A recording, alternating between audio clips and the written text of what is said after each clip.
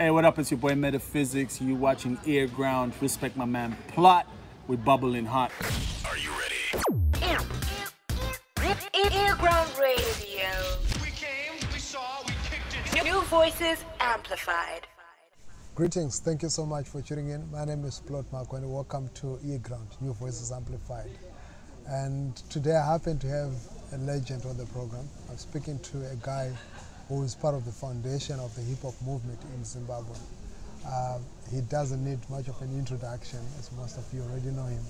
Metaphysics. Greetings. What's up, what's up, I'm what's good, up, I'm man? Zilise. Ah, bo, sha ndinogara ndichikuona uri pa pa pamaworks ako ma-interviews Yeah. tichifunga tagara tese vache face to face in a Germany. In Germany. Ah, that's cool. Ah, waita bo wauya univhizitawo muna mvupatawo. Wupeta. Thanks a lot. It's, it's nice to be in your hood.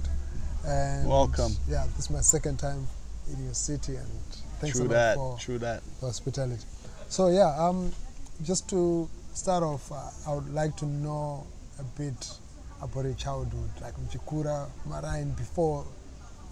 Ah, hop. nda- ndakazvarwa kumbare edith opperman Ah, nine- okay. 1973 Wow. ndikakurira kukambuzuma well actually westwood Okay. Uh, that time there was still segregation and it was still Rhodesia. Yeah. So I had to go to a mixed race school because my father was German. So I went to a mixed race uh, nursery school in Arcadia, then moved to Mabelreign, and I've lived pretty much my whole life in Mebaz. Wow.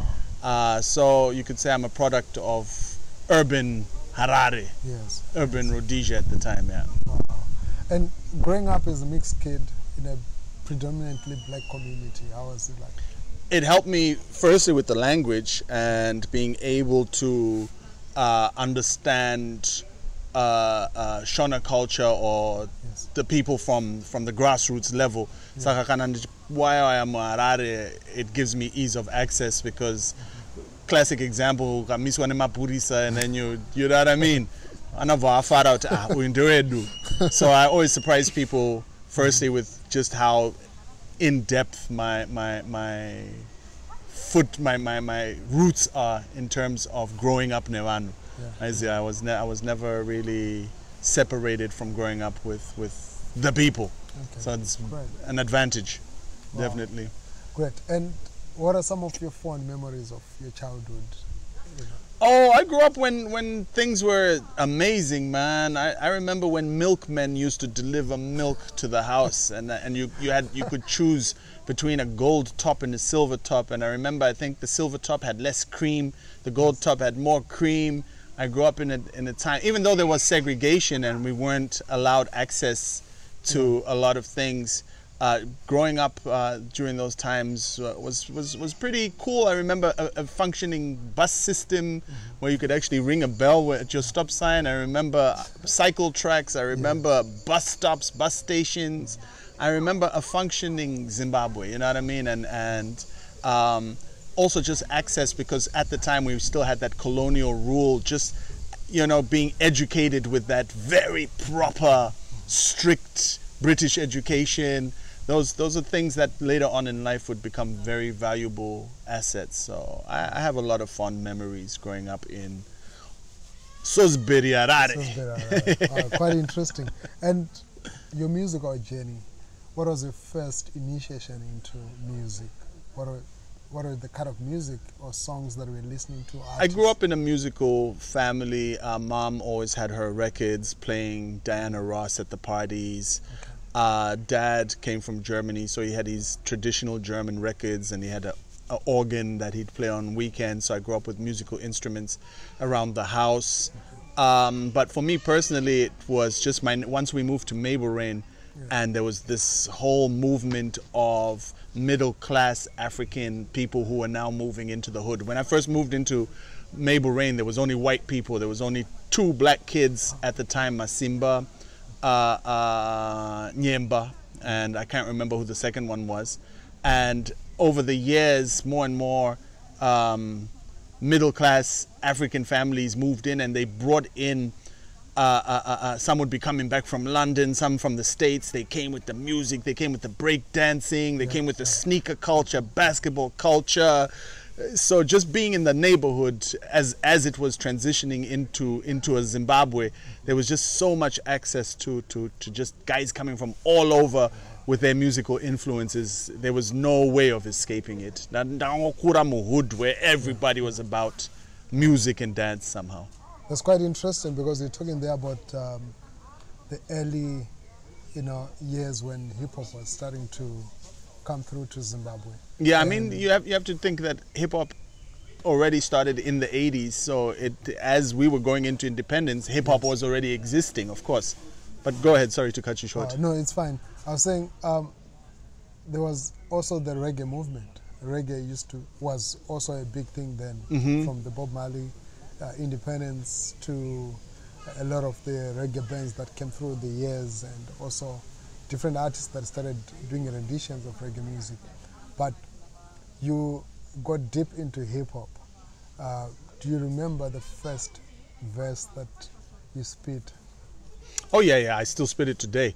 Uh, in terms of the reggae, se se my youth tango wana reggae se man yemadara. You know what I mean? And It's just a times my, my, my, my robot because we used to do the robotic dances and electronic music was now Yes. coming in. Our version of reggae the DG. My DG. because it was digital. Yeah. So I'm from the digital generation when digital started uh, uh, influencing uh, uh, everything, you know, from the music to how we dressed. We all looked robotic. We all. So for me, the first time to actually pick up a, a, a pen, I was taught how to write raps by Terry Mahati, aka Oh. Terry Guns, Terry aka Guns. Kunta Kinte. Wow. Uh, he was my mentor. Before that, I was always just interested in the breakdancing aspect. And when I first saw somebody rapping live with my own two eyes, it was Terry Mahati, who's uh, about to turn 50. Wow. Respect the Don Gorgon.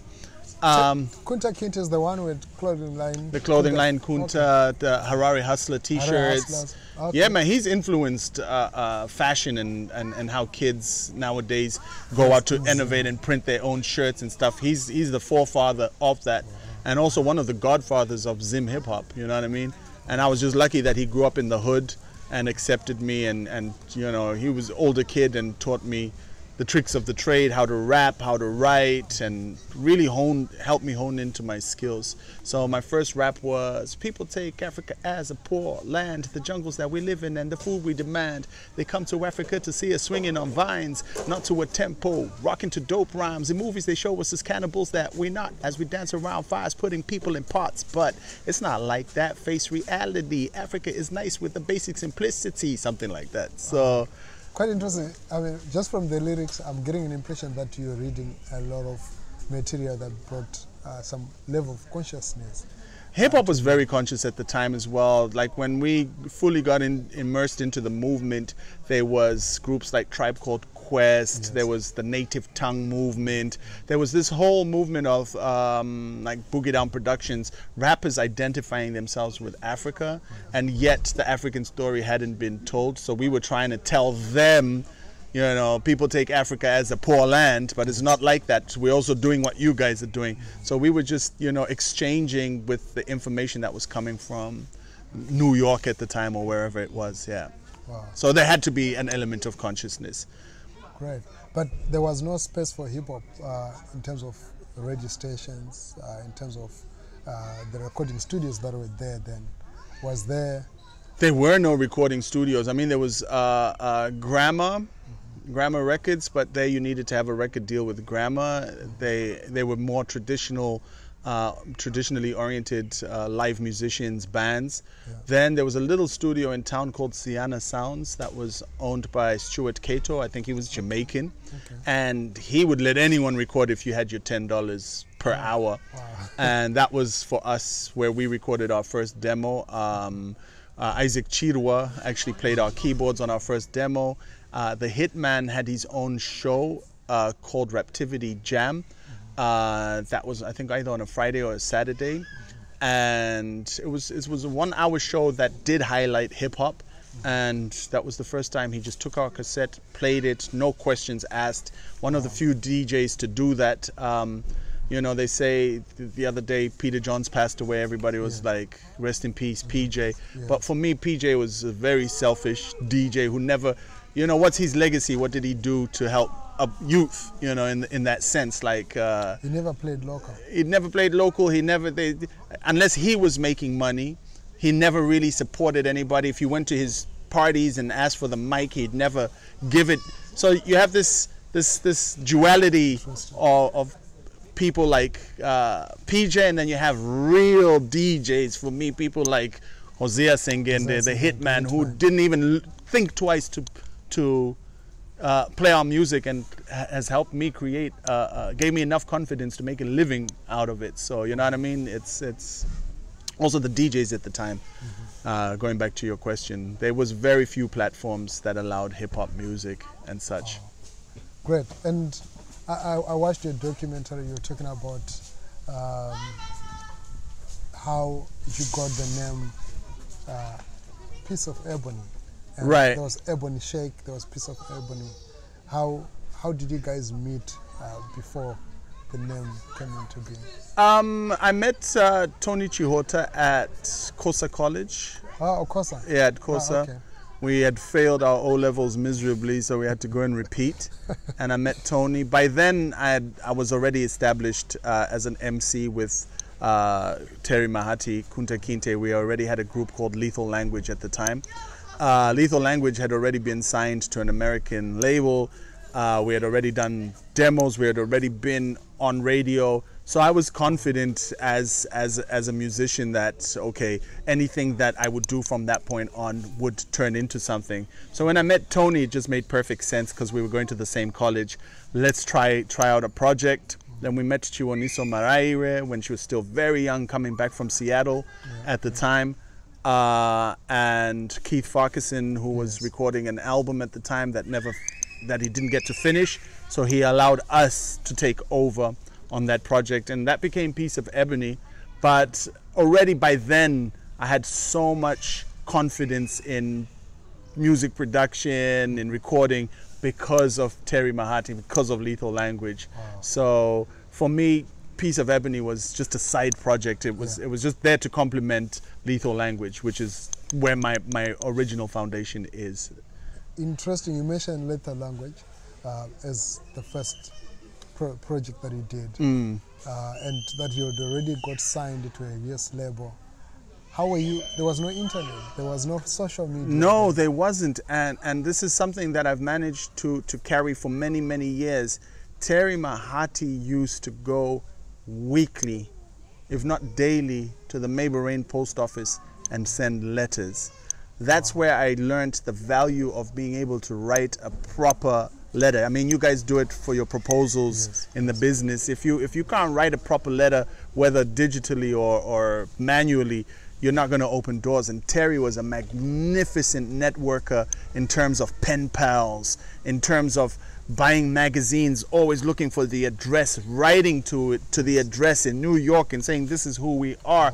It just till today it's it's it's miraculous just the power of communication. And i learned that from an early age watching terry send off these let- letters and two weeks later his pen pals would be sending us shirts records magazines. We used to get magazines from the states from london from japan just on the basis of how good he you know It's so quite interesting. yeah man it's it's educational man Because I find it quite fascinating that um, right now a lot of things seem a bit easier because of internet, but then to start to think of an era when there was no internet, when there was no social media, and how you could even get access to an address, how you could even contact somebody. Yeah, and, yeah, yeah, and yeah. start writing to them and ultimately do a business.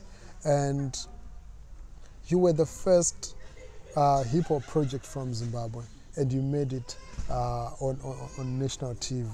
Uh, you made it uh, on radio, on radio, and you guys, did you anticipate this, considering that Zimbabwe was predominantly playing? No, we didn't do it. We, we, we didn't do it with any anticipation of reward. We did it because it was just the cultural movement at the time. It was it was what was hip at the time. It was just you know like uh, my my son's right here skating around. It's the thing to do right now. They're skating, and one of these kids one day is going to be a skate champion. It's not that he picked up a skate and skateboard and said, "I want to do this to be a champion." It's just because he's grown up with the thing. That's what's happening. That's what the other kids are doing, and out of that, there's going to be a champion who's going to be like, "Oh, this is something I want to do for the rest of my life." You know, and for us, it was the same with the music. We were just part of a bigger movement. There was break dancers coming from Bulawayo. There was uh, uh, rappers already rapping in Shona. There was uh, so, So much. start now? No, no, no, no. Oh, that thing. It started. It started when hip hop started. You know what I mean? The uh, Zimbabweans are to do saririra. You know what I mean? Like like Tamuka says, "Zvakanaka tozvidao." Tozvidao, yeah. So it's it's it's easy that so, and the influence. Guy, vamwe vaidzidza ku, ku, ku, ku London, vamwe vaidzidza in the US. Yes. Maidzoka for holidays And with that influence. then- So takangokura nazvo. So it wasn't Urban Grooves that really. kwakusina zvana urban grooves urban grooves zvakazouya later urban grooves is, is when um, zim artists started to find their own identity and put their own identity into it before that we used to emulate the principles of the culture we tried to sound as american as possible we tried to do everything as a, to fit into the program but later on when zimbabweans realized that they got their own audience. Yeah. Urban grooves started to to to, to become a, an identity of this its own thing. You know what I mean? It's uh, uh, it's not, they didn't even call it hip hop. They called it urban grooves because it was a very very hybrid specific thing to Zimbabwe. I hated urban grooves, by the way. I hated I hated that whole movement. Now, now, until now, or then? Well, one of the main producers, there's this documentary going around uh, with with Rocky, and they're talking Yes. about the Chavundu Chamembe project. yeah. Before that album was recorded, I went to visit the guy who who was putting everything together, and I had my and I was still young. I had my microphone that had been stolen from ZBC. I can say it now because it's like many years later. One of my homies stole two mics from ZBC, like AKGs, expensive ones. So I got one and the other one went somewhere else. So I went to this Chamembe studios there and I was showing off my mic and he said, let me borrow it and I never saw it again. So, so because of that, I hated urban grooves. Ah, I still want my mic, by the way. That mic yangu, and I'm sure ZBC is still looking for their mics also. My mic here, do jama. So because of that, I hated the movement because I thought, hmm, record on the mic yangu, They're blah, recording blah. the microphone. So, Wow. but um, now, now looking at the time that you decided to call your group um, Piece of Ebony, I remember you mentioned that you had passed through Ebony Hair Salon. exactly, exactly. Uh, can, can you just give us maybe a snippet into exactly what happened? Because I started reflecting, like, oh, I knew Ebony Salon and how did Yeah, that was such an iconic saloon, man. That, that's that's like a my rose, you know. Yeah, That's Red like Rose. like red rose. It's one of those things that every time when we came back from school, Yeah. Up at and Ebony was. I don't. I don't. Till today, I don't know today or what was being done. I don't even know if it's still there. I hope it is. I think it's still there. It might have changed hands. So definitely. the thing about Ebony Saloon is it was right opposite the bus terminus for Ashdown Park. Oh. So wakangogara papo wakamirira bhazi so what are we going to call the group ah, nah, ebony and ebony The, and then the piece. Uh, so, okay we can't just call it ebony so me i like i liked uh, uh, uh, uh, uh, de la soul and they had they had peace signs on their lp cover and when i said ah, we got to incorporate the peace peace sign so how do we put the piece of ebony ah yeah that's the name Oh, wow. and then it became a positive existence, allowing cultural expression of ebony. I gave peace an acronym just to make it a little bit more contextual to what we were doing. But I, Resende, takamirira Yeah. buzz. That's where the name came up. Ah, usimbe ufunga kuti, ah, zita No, but I mean, it, it has remained, I mean, a very profound name because when you just read it, it's, it speaks depth. It's not like a random name. Um, but what would you say was the biggest highlight of your musical career with Piece of Ebony? Oh, um, definitely getting signed to a label in South Africa, uh, getting noticed by Island Records in Jamaica, um, our music video videos being one of the first groups to actually have a physical CD in Zimbabwe when all the other groups were still doing vinyl or cassette. We were one of the first to have a digital format. Um, the, the, the whole thing, because for me, that was my introduction to understanding how a functioning studio works. And Keith was a very hands on producer who would also allow you to, to ask questions to so I learned a lot about how to set up a studio. So for me it was it was the foundation for everything that would become metaphysics till now. It was the it, I found my my my culture in a piece of ebony, so to say, yeah. Great. Thank you so much. Uh, stay tuned. We're coming back, and when we're back, we're going to be talking about um, the aftermath from Piece of Ebony, the next uh, chapter, and then the current project that he's working on, and also a bit about uh, Söhne Mannheims and a lot more of the project that he have done. Fantastic. Stay tuned. Earground, New Voices Amplified. New voices amplified. Earground. Welcome back. New Voices Amplified Earground is the place, and today we're not speaking to a new voice, but we're speaking to a legendary voice. Um, speaking here to Metaphysics, the founder or a founding, a pioneer for the hip hop mu- mu- music movement in Zimbabwe. Word. And uh, we're talking about uh, Piece of Ebony, and there was also Ebony Shake. I think they were from South Africa. Ah, okay, it was not. No, it had nothing to do with us. Oh, I, I remember there being an ebony something, but totally different genre. Didn't affect us in any way. I've heard of them as well, but I don't know who they are. Great, great. There's a music video. I'm trying to remember the name, but it, it, it was a huge, huge uh, success that we used to watch on Sounds on Saturday and Music Box. Huge Waniso and uh, I think it was Vuka. Vuka Naganeni. Yes, Utanabi. I never can. say- I don't know that one. yeah, that was shot by Pam Devereaux Harris from South Africa. Uh, it was the first time we shot a video on film, real 35 millimeter film. The crew came from South Africa.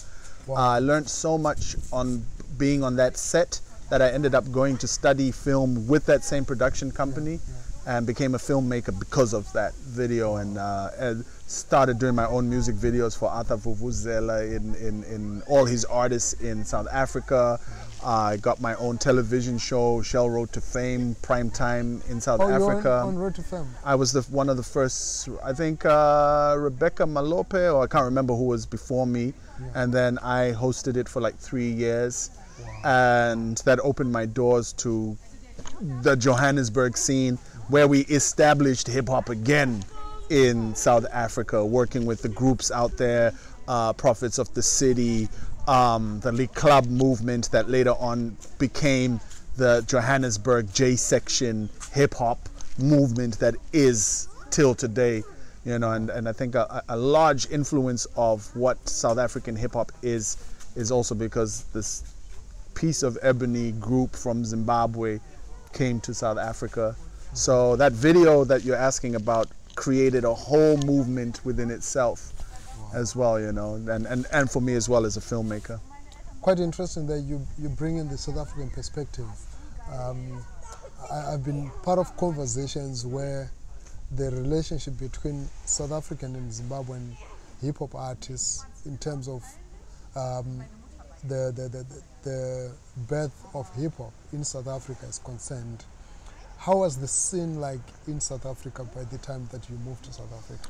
Uh, when I moved to South Africa, it reminded me of the 80s in Zimbabwe. Don't forget they had been under uh, uh, cultural and apartheid uh, regime that didn't allow them the same privileges and access that we already had in Zimbabwe. So by the time we moved there as teenagers, the gates were starting to open up for them. So they were discovering this new movement that we already had been part of. Uh, not to say that we brought hip hop to, to South Africa, no. It was there. There was prophets of the city. There was groups already there. But the urban side of hip hop, this New York type of feel with the videos and all of that, they were slowly opening up to that. And I think we were highly influential, or at least we were part of that process. Um, if you look back or look forward, actually, Yeah. like uh, BET Awards, Shasha, Yeah, the influence of another Zim chick. I saw I saw her interview. She's from Mutare. Mm-hmm. You know what I mean? It's just that thing. She happens to be there, and she's happening to to help their movement grow. And one day in history, she'll have the same conversation. How? What was your role in South African music? I think it's just really a question of being at the right place at the right time, and that was pretty much it. You know, that's that's that's that's. It's just destiny. Things happen that way somehow. Wow, great. And um, Chiwoniso continued music as a solo artist, and w- you continued uh, to, to, to work on your films and also music. And Kunta Kinte, did he continue making music as well? No, that's that, that's what I always want to talk to him about is like why he stopped. He was so good, he was fantastic, but he decided to pursue fashion when he created the Kunta Kinte brand, and that that's been his passion ever since. Uh, well, till now, and he's still doing it. Uh, Chiwoniso, rest in peace. I totally get it. You know, after I got the job in South Africa, and I had to spend more time in South Africa working for television, the other the other members couldn't wait. You know, like every time Meta comes back, so their career started to move on as well. And she met Andy Brown, and um, she was always a more sophisticated artist in terms of her uh, repertoire and her ability to play from urban music to traditional music. And I think she also wanted to explore that side of her her her talent. And I think Andy was the perfect foundation for her musically, but not personally. You know what I mean? Because obviously history will will, will tell the story. Um, Tony Chihota is still in Zimbabwe. He was uh, uh, uh, the chief. He was the other member. Uh, Legwan Shaki, who later became a later member. He's here in Germany. Uh, yeah, yeah, yeah. That's pretty much Wow. that saga, I suppose. You mentioned uh, Chiwoniso, who was a member of the group, and may I so rest in peace. Yeah, Um, definitely. What do you remember for the most? Oh, she was my best friend. Me, me and Chi were like brother and sister. We were so close uh, and just so free around each other. Like, and I, uh, that's family. You know what I mean? And till today, I have great relationships with the Maraire family. It's just one of those soul destiny things. I was speaking with uh, um, uh, Dumisani Drez. Drez just recently. We, for the first time, connected this year, and it's just a perfect connection. The same kind of vibes I felt with Chi. Uh, I just remember her for being this sweet, beautiful young girl that was just part of my family. You know, my mom always enjoyed her company. In fact, all our moms. You know, I come from I come from a circle of friends who are still friends till today, and some of us have passed away, like Vic Fox. Uh, some of us are still alive, and we're still just one big happy family. Great. And uh, after you left Johannesburg, uh, is that the time when you moved to Germany? Um, no, I came back to Zimbabwe. I worked in Zimbabwe for a while. I did a feature film with a director called Olley Maruma. Oh, with Olley Maruma. With Olley, Olley gave me quite a lot of money for my role. I had the lead role along with Miss Zimbabwe Karen Stally. Wh- which, which film was It was called The Big Time. It never got finished. The Oh. reels are still sitting with uh, Adam Chigorimbo, or what's his Oh, name? Mr. Chigorimbo. Mr. Chigorombo, yes. yeah, he still has the, the, the raw footage. At one time, Oh. I tried to buy it off him to finish the film, but the Zimbabweans always want top dollar, which Yeah, I didn't have. Yeah. Yeah, yeah. Uh, no disrespect to him. I mean, they invested in the film, but just for you know, just to finish Olley's legacy, I've always wanted to finish that that film. And that money afforded me then a ticket to go to New York, which was always my dream. Wow, great. I got kicked out of South Africa because uh, I was making music videos illegally. I wasn't part of the film union. So Tokyo, who's now a minister, kicked me out. So my only Tokyo other yeah, Oh, he, he was part of the. he was part of the film union at the time. Oh, wow. So and so you you could not work. In I couldn't work in film anymore. And they gave me you were part 20. of the They gave me 48 hours to leave South Africa, pretty much. Because what happened was, uh, I started breaking the monopoly of videos that were made because I was doing videos at half the price, and I was doing videos the way the guys wanted to see themselves. They had more of a hip hop edge, whereas the people who were doing them traditionally always wanted to dress people up in traditional Zulu outfits, shoot them at a hut somewhere. So all of a sudden, there's all these new videos popping up on television. Like, this didn't come from us. Who's doing this? So I was tapping into people's money. I was, you know what I mean. So they had to get rid of me. So they're like, fi- find a loophole. Let's get it. Get out. get yeah. And at the same time, I got kicked out. Tich got kicked out of South Africa Yeah, as yeah. well. Tich Mataz. Mataz, Uh, and I came back to Zim, and it just felt, you know, I'd been swimming in the big ocean in Johannesburg to come back to the little pond of Harare. I was like, mm, New York, handy. So I upped my skills a little bit more at video promotions in Harare. I worked for Willie Memper, rest in peace. Ah, okay. And then from there, went to New York and started working for the MTV Corporation, networking with the real hip hop movement, and that's where Met- Metaphysics was born. Man, you you've got an amazing story. like, but one thing that's fascinating for me is how you remain grounded. You're still down to earth. You Ear still ground. go to Zimbabwe. Yeah, you're still ear ground. you're, you're still down to earth. He's still go to Zimbabwe, do a lot of initiatives there. Um, what what keeps you grounded? I in Jamaica they have a saying: uh, "The humble calf sips the most milk." You know what I mean? I, I've, I've learned that don't Wow, don't don't don't be too don't be too hyper about anything. If you want longevity, Yeah. just stay humble because this this thing changes. There's uh, music is a mission, not a competition, and and you can never you can never champion it. You can never own it. You'll you'll be on top one day at the bottom the next next. But if people remember you for who you are, you'll never fall. I can never fall from being me. Yeah. Whether I stop being a musician or whatever, my, my what what keeps me principled and grounded, no one can ever take that away Yeah, from me. So I've I've never allowed the hype to to affect me. I've never, you know, like the the other day I met. Um, okay, maybe he's got a bit of a mental problem, but I was in Zim. Uh, what's this dancehall artist? Fire, uh, uh, not Jah Prayzah. I like Jah Prayzah a lot. The other one, um, Soul Jah Love, Oh, for Soul Jah example. Love, yes. Hey, dude, let's take a picture. This dude was acting like like he's platinum or something. Even me, I got surprised. Am I doing something wrong? Maybe I should also act like uh, I was confused. Did he recognize you? It's not even about that because But- it's it's about somebody appreciates you and wants a picture with you because he never knows what my platform is. I know Be mean. humble, you know what I mean?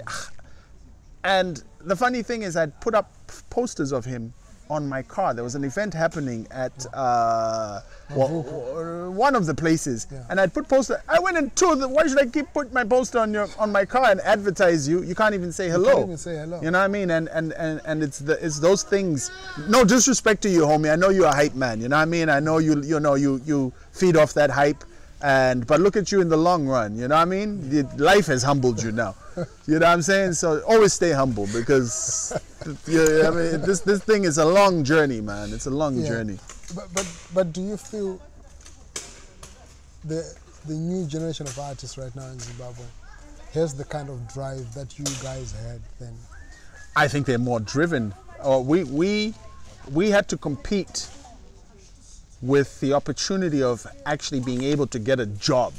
When I was doing music, your parents would be looking at you saying, "But I was I was dabasa," dabasa. because there was jobs at that time. yeah, Now there's no jobs. So These have kids really have no it. options but to unify, which is what I love. How dancehall unified. How to build, like I, I, I commented on, on you, how to build a brand from nothing, Vanchoga. like Vanchoga.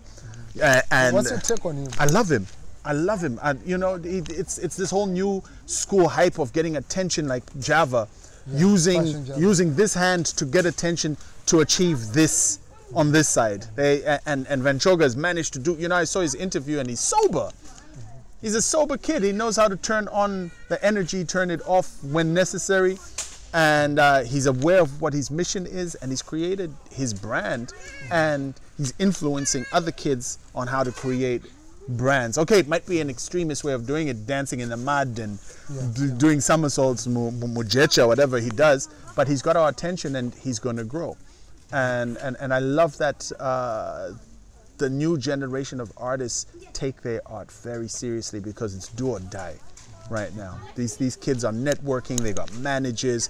They, the the art is improving. The videos are improving. Yeah, yeah. When when I see what Amara does in terms of her videos, or when I see uh, um, what's this young lady? Her father's the DJ.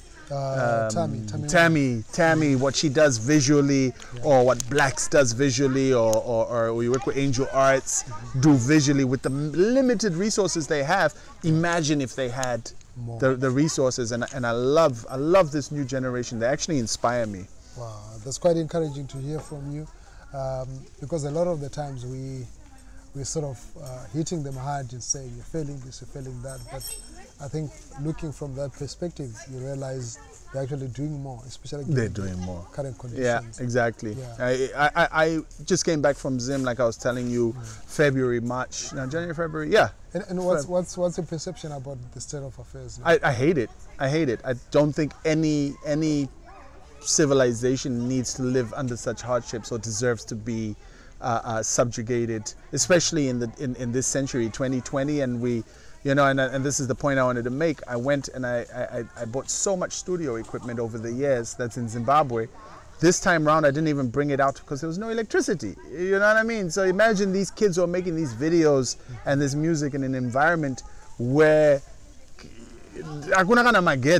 and and I, I think it's sad that it's a sad state of affairs for whatever reason it is whatever excuses we have I, I- you know like I, I said in a, in a previous interview I was always told by my mom to stay out of politics I'm not a politician yeah. but I'm, I'm a humanitarian and I, and I think some of the conditions that we live in are extreme we don't have electricity, clean drinking water, access to, to, to hospitals, medication.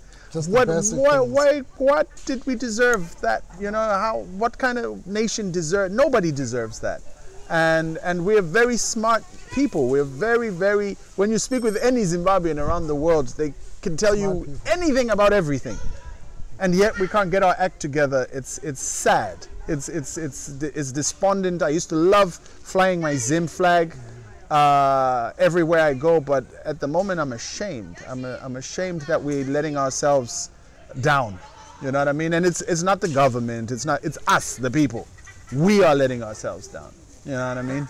And where do where do we go from here? Do you see hope? Well, I mean, we just have to look at history. Nothing stays the same. But it's, it's a shame that it's going to take an extreme situation to change our uh, uh, narrative or our paradigm and not ourselves and not our intelligence. Of course, things will change. Rome will fall. Uh, ancient Egypt doesn't exist. Uh, we had Zimbabwe, Zimbabwe, Zimbabwe. That whole civilization is gone. It's you know it was once a great civilization, and we will also one day be turned to dust. But I don't want that to be the reason of change. I want the reason of change to be our intelligence, our ability to think ahead, our ability.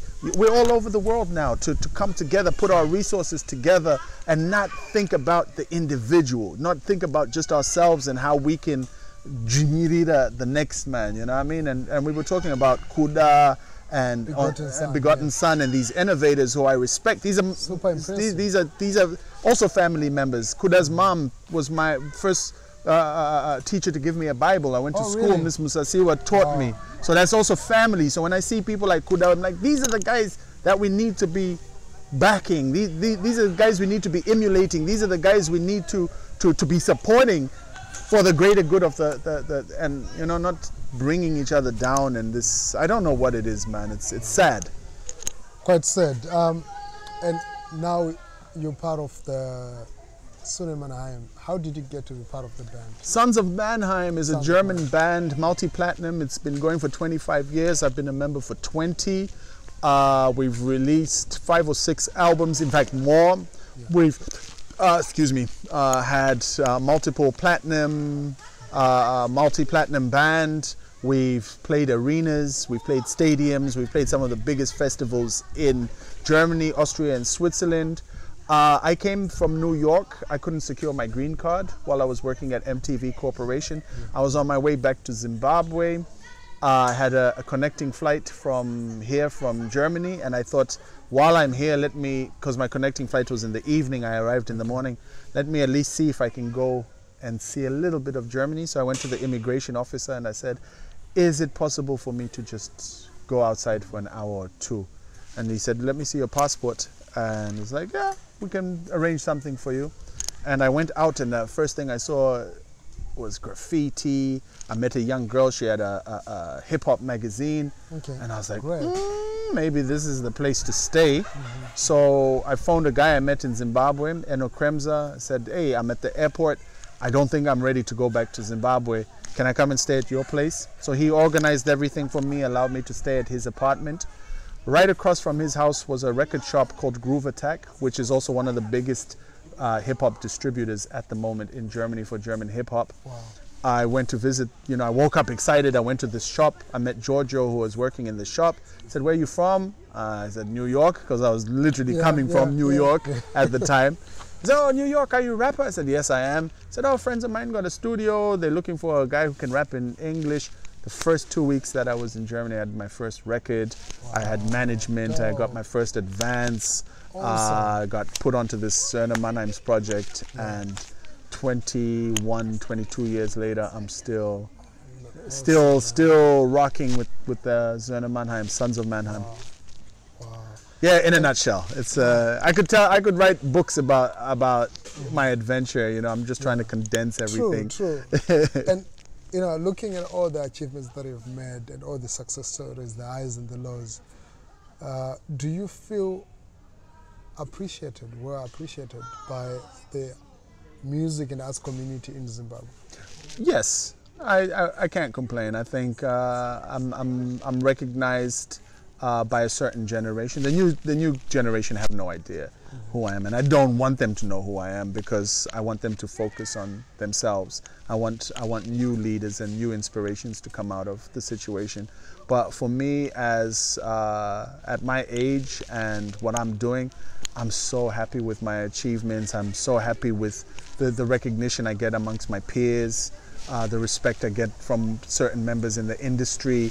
I'm, I'm content. I'm a, I'm a very content man. I've, I've, I've achieved more than I would have ever dreamt of in my life. When I look at that, sometimes when I go back to Zimbabwe and I sit in that little bedroom where it all started, I just cry sometimes because like, how how did we manage to get out of this situation? You know, just the power of the passion of of wanting to be part of something so much can actually change your life, and uh, I'm content, man. I'm, I feel I feel recognized, and even if it's not by the masses, the few people that like you, hey, Mdara Meta, New voices amplified.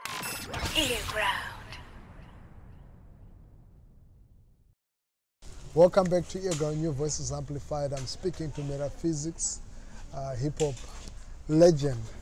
And looking at the Zimbabwe music scene now, I know you've spoken about uh, the strides that the youngsters are making to really push the music.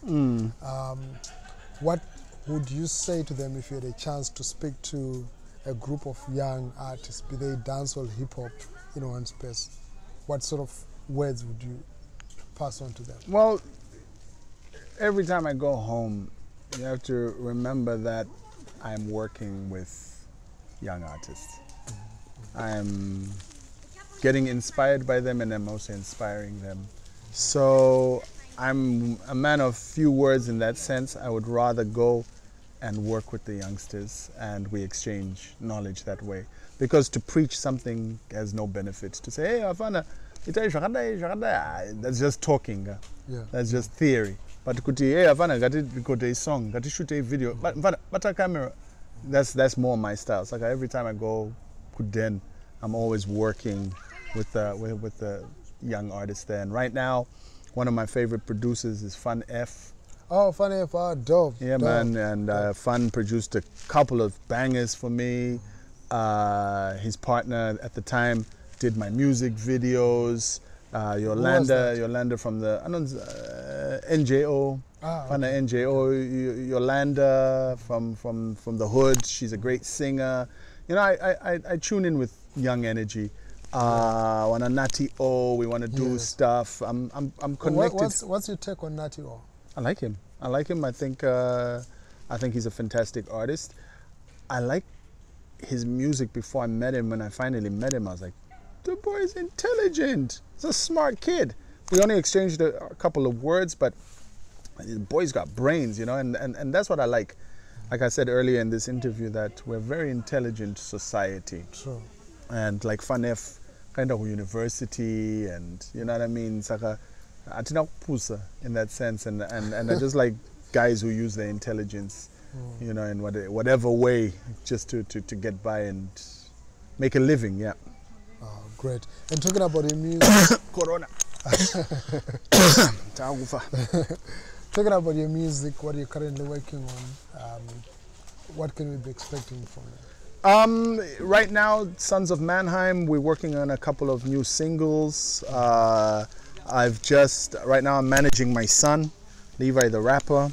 He's just released his single. Oh, your boy. Yeah, Oh, he's, just, dope. he's just released his I didn't, single. I didn't, I didn't, I thought it was your fly when I saw it. No, no, it's my son. Ah, this, so he's he's just reaching 1,500 views on YouTube right now. This is cool. Uh, yeah, man, I, I, I, keep pushing. I keep I keep working. I keep uh, inspiring. We just finished uh, uh, writing a movie with uh, uh, with a fellow Zimbabwean. Uh, we've pitched it to Netflix after we saw uh, uh, uh, uh, uh, uh, Cookout. Cook off. Cook off. Yes. I, I was I was with with, with Brickhill when he Oh, was when he was pitching it and we were laughing at him. Now I'm like, I apologize, Mr. Brickhill. You were onto something. I wish I wish I'd also been cooking off there with you guys. Ah, Um, and yeah, now you know we just want to step up the game and, and, and take entertainment to the next level, take Zimbabwe to the next level, and keep pushing. semadhara acho ndisi madha- maguardians acho sati kana tichingo innovator Wow, awesome. And uh, you, you mentioned the cook off there, and earlier on you also spoke about Shasha. Um, how do you feel years later? Uh, now, a lot of this success is starting to happen. With there's Shasha, there's um, cook off, and then there are also Zimbabweans that are working for Sony, from for uh, Columbia Records or MTV, for some of these big corporations, and you worked for MTV. How do you feel when you look at that? Again it's testament to our intelligence. It's testament to like i said earlier in the interview to uh, it's maybe one of the good things that came out of the, the hardships of zimbabwe is that it forced a lot of people to uh, externalize their, their talents and hopefully they get to bring it back home one day. Uh, the diversification of cultural exchanges on a global level is a natural course, I think, w- that can be accredited to technology. Uh, this morning, my son was playing Fortnite with a kid from the States. How they hooked up, I don't know. And sometimes he's playing with a kid from India. How they connected, I don't know. But we live in a in an era now where it's one global family. Like uh, uh, you can't stop globalization, you know. And once 5G and faster networks come into play, the world is just going to be more connected. And it's good that we have Zimbabweans in the forefront. We got our young guy there in the UK with his automated car. We have innovators in science, technology, medicine. We have people in the arts all the way up the ladder to Hollywood. We got Tinashe in the billboards. We, we got lawyers, students, doctors, politicians of the highest caliber. Uh, if we could only just see and recognize ourselves at home, as they say, charity starts at home. Yeah, if we could, if we could just build the same infrastructure at home, I think uh, Zimbabwe would would uh, definitely shine. But I love it. I love seeing Zimbabweans in, in advantageous positions, and I support that and encourage that. Wow. Wow, thank you so much. Uh, I would have wanted to continue asking because I had a lot of questions, but I think this has been great um, and enlightening because there are a lot of things that I feel have been lost in history because we have not documented, and not been able to really tell our stories. And I have a, a great present that I'm going to give you after this interview, actually, because I see you're one of the guys preserving the culture. Uh, something I want to give you Oh, after thank you this so interview. Thank you for having me on. Thank you for introducing me to Lashan. He looked after me in Oh, Cape. Town. Passion Java. Connected with uh, Passion. He was supposed to be in the video. It never happened, but I got to meet him. I like the dude. Uh, Cool guy. I really. What's your take on Passion? He's What do you think? fantastic, man. He's living in his, his own world. I hope he's faithful to God because you know you, you, you don't want to be playing spiritual games and putting your soul on the line. I hope he's genuine about his mission. Yeah. Uh, make your money, young man. If you're gonna make your cash, make your cash. Who says who says God loving people can't make money? Who says they can't have a good time? Uh, but just find balance and don't let it get to your head. Don't become egotistic. We've seen, if you're a Bible man, you know, we've had people like Joan of Arc who Yeah. had these spiritual guidances and then they begin began to feel like it was their own mystical powers. I don't know. Just just tread lightly, especially when you're dealing with matters of the spirit and the soul. Uh, I like him. I, li- I think he's motivating a new generation to be outspoken, to be lavish, uh, to, to show Zimbabweans from Chitown that you can own a, a Lamborghini, man. But get your license, homie. Get your license, Mdara. We don't want to come to the States and bail you out. Tanga about your license, blast. Wow, you've heard it. Uh, uh, thank you so much for watching and stay tuned. I'm gonna ask for a very small snippet, freestyle from Metaphysics. Uh, so stay tuned. Hey yo, what up? It's your boy Metaphysics. You're watching Ear Ground. Respect to my man Plot. Now it's a science when you deal with the molecular structure of energy and you are the conductor. Life is your symphony notating reality on a planet that's stranded somewhere in the galaxy. The complexity of the cosmos is immense. I absorb my surroundings, capture these events. I form a quick sentence, sink deep into a verse, explore all corners of the universe, describe as far as the words can the boundaries of expression as an African. This is how I do it, yo. We jam it. This is the sound of ear to the ground. Peace.